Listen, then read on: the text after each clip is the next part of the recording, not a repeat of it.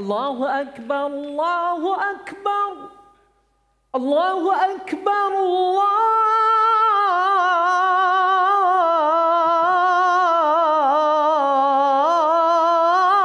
Akbar. Bismillah wassalatu wassalamu ala Rasulillah. Assalamualaikum warahmatullahi wabarakatuh. Ramai di antara kita yang mengenali susuk tubuh Bilal bin Rabah sebagai seorang muazzin di zaman Rasulullah sallallahu alaihi wasallam. Tetapi ada seorang lagi tuan-tuan muazzin di zaman Nabi sallallahu alaihi wasallam namanya Abdullah ibnu Ummi Maktum juga buta matanya. Kemuncak imannya terbukti apabila Abdullah ibnu Ummi Maktum dipilih sebagai salah seorang orang yang awal berhijrah. Tuan-tuan bayangkan 500 kilometer menempuhi jalan daripada kota Mekah menuju ke kota Madinah. Tidak punya apa-apa, matanya buta. Yang ada cumalah tawakal pada yang esa.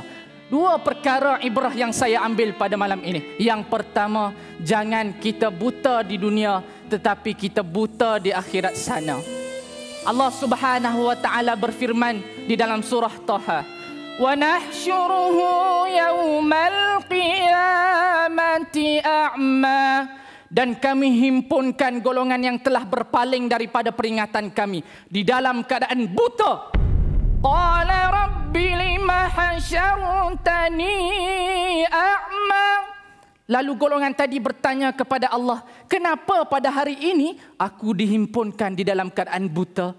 Wa qad kuntu basira. Sedangkan di dunia dahulu aku dapat melihat dengan sempurna.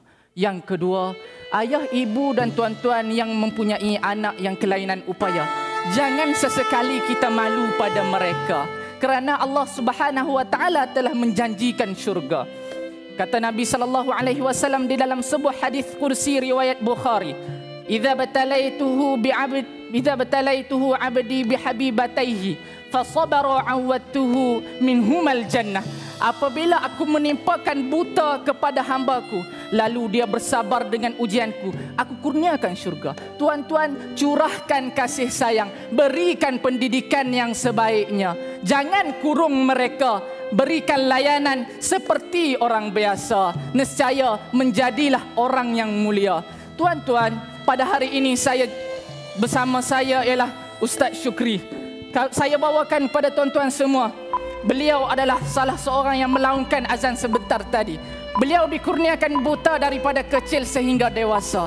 Tuan-tuan, kekurangan diri bukanlah satu perkara penghalang untuk berjaya. Cinta ilmu, cinta Tuhan, insya-Allah hidup jadi comel. Terima kasih. Assalamualaikum Ustaz. Alhamdulillah. Kita ke belakang sikit. Berikan tepukan sekali lagi kepada Wafi pemegang ijazah sarjana muda Usuluddin Universiti Islam Negeri Sumatera Negeri Sumatera Utara Medan Indonesia. Allah berfirman, Sehina-hinanya engkau di atas muka bumi ini akan ku angkat setinggi-tingginya di hari akhirat nanti. Tuan-tuan dan perempuan, orang miskin, kita ni ada penglihatan kita adalah orang kaya. Orang miskin, Nabi kata, akan masuk syurga dulu 40 tahun lebih awal daripada orang kaya. Jadi, fikir-fikirkan di mana kita nanti insya-Allah. Tanpa membuang masa, silakan Ustaz Zarifi dengan komen anda. Assalamualaikum Da'i Wafi dan Al-Fadhil Ustaz Ustaz. Syukri. Terima kasih banyak-banyak Ustaz. Persembahan malam ini saya melihat kandungan dan kontennya sangat menumbuk hati kami para penonton. Alhamdulillah. Alhamdulillah. Terima kasih Da'i Wafi. Berbanding pada minggu lepas, saudara telah bangkit malam ini memberikan persembahan yang terbaik. Saya nak ucap setinggi tahniah terutamanya pada Datuk Mursyid dan para murabbi yang berusaha keras menjadikan anda malam ini pendakwa yang baik. Ayat Al-Quran yang saya rujuk, Masya Allah, baik sekali. Hadis riwayat Al-Bukhari yang saya rujuk, tafsirannya juga baik, Alhamdulillah. Cumanya, pada masa akan datang, Datuk Mursyid dan para murabbi, saya mencadangkan, kalau boleh kita memberikan penekanan kepada yang pertama, transisi watak dalam persembahan, satu. Yang kedua, projection suara. Suara kita boleh mengherdik. Suara kita boleh memujuk.